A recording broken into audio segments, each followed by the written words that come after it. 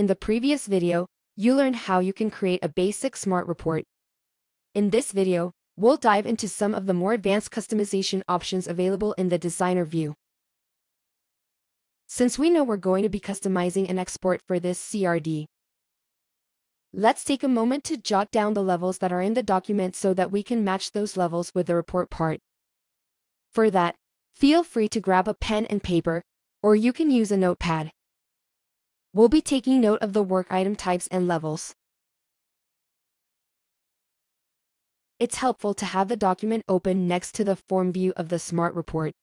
This helps you easily cross-reference the different work items and levels. Let's start with the first one. We have a document so we can jot down the level as level 1. The second item here is an introduction. We can see that it lines up with the section work item, so we'll add at level 2 section.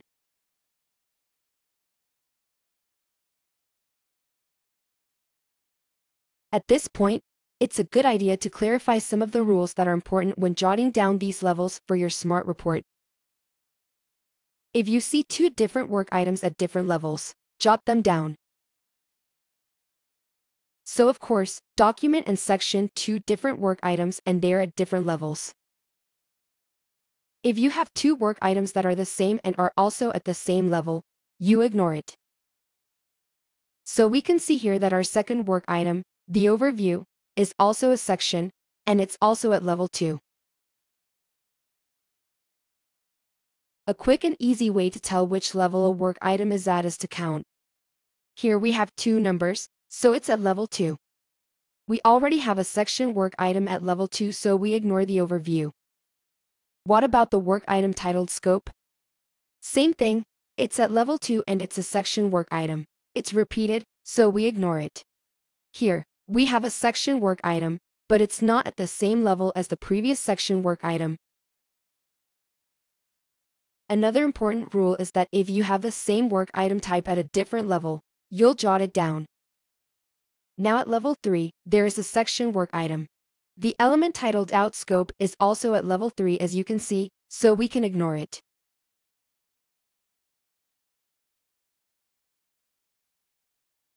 There is another section here which is at level 2.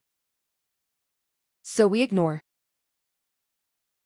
Now, we see that there is an epic. We can tell it's at level 3 because there are three numbers here. Another rule. If you have two different work items at the same level, you jot them down. At level 3, we already have a section, and we're going to add an epic at that same level. Underneath the epic, we have a feature. Level 4 there is a feature. Underneath the feature there's a user story.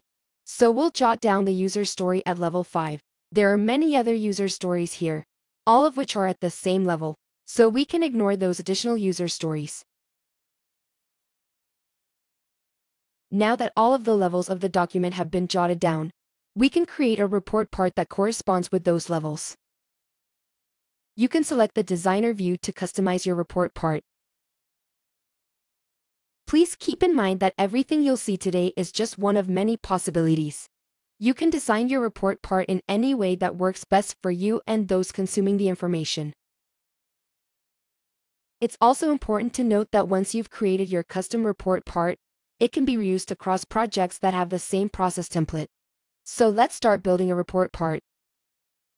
Click New.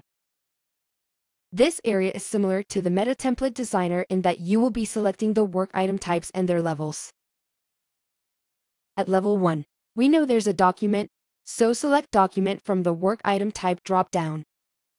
The system doesn't automatically rename each level according to its work item type, so you can double-click on each one and rename it. At level 2, is a section using this arrow. You can add a section at level 2. Select Section from the Work Item Type drop-down. At level 3, there is a section and an epic. Use the arrow to add a child beneath the section and select Section from the Work Item Type drop-down. Then you can add a sibling for that section by clicking on the plus sign. That sibling will be an epic, which we'll choose from the work item type drop-down. I'm also renaming the level as Epic using that same concept. You can go ahead and continue to add your different levels and work item types. When you're ready, save your Smart Report. You'll see that the default folder where the Smart Report is saved is the Smart Docs folder. That's because we initiated the Smart Report from the Smart Docs module. There are many other modules where Smart Report is available, in which case the Smart Report will be saved in that associated folder. Go back to the report view. Generate your report. This is what it looks like. Now you can apply further customization according to your needs. For instance, you could remove this document work item from the export back to the designer view. At the document level, you can remove these fields. Change this field to value area. and remove the label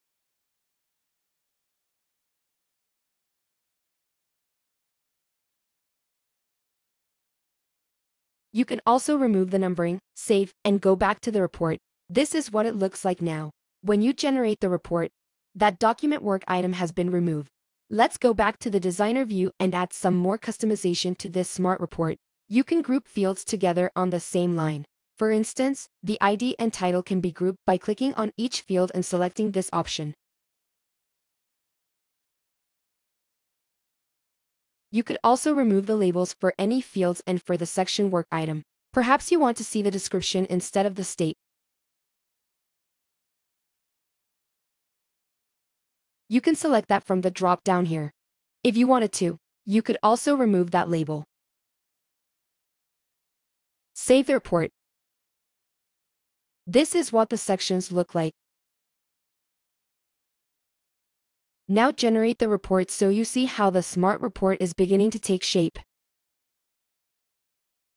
Going back to the designer, you can continue to add customization for all of these levels of work items in the various fields.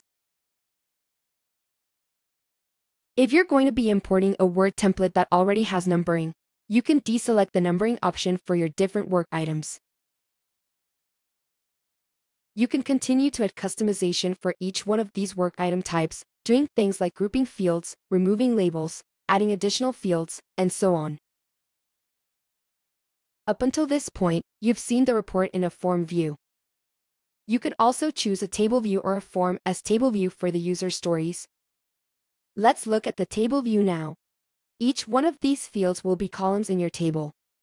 Let's go ahead and add the description field to the table you can change the column width for each one of these fields. I'll take off the numbering. You can also add captions to your table. Save your report and go back to the report view. This is what it looks like now, and here's how it looks after generating the report. In this video, you've seen how you can apply different types of customization to the work items in your report. In the next video, you'll see how you can prepare your smart report for export to a variety of formats by applying styling and bringing in your Word templates. Thank you for watching.